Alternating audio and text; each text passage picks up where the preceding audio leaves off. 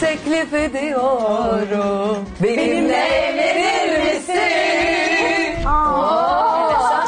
Ben yazdım direkt mesaj attım. Gel evet de mutlu olalım. En çabuk kim bitirecek göreceğim.